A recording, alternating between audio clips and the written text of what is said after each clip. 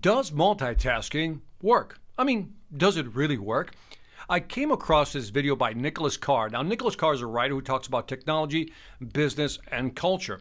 And this presentation that I got the clip from was at Purdue University. And I think what he has to share with us on multitasking is worth your time. It's only three minutes. Check it out. The first major study of digital media uh, was done at Stanford University. The researchers got a bunch of people, about half of them identified as heavy screen users, computer users, internet users, and the other half were much lighter users of the technology.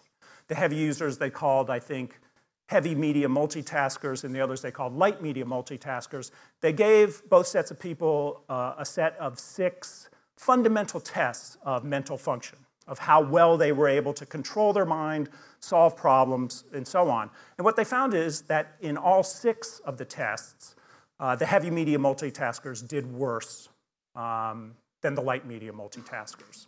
Uh, they were less able to maintain their concentration, less able to resist distraction, less able to differentiate important stuff worth focusing on from trivia that really they should have let pass by, and even worse at multitasking itself. The more you multitask, weirdly enough, the worse you get at it. Um, and what, they, what one of the lead researchers explained was that everything distracts these people.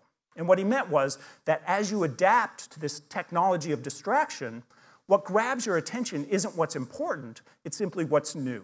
The latest thing to come across your screen, the latest notification, the latest message from a friend, or whatever. So, there it is, the definitive answer. Does multitasking work? Not really. We've got a lot of things distracting us, but our ability to stay focused on a singular objective in the long run will pay off. This is Victor Antonio. Hope you enjoyed this breakdown.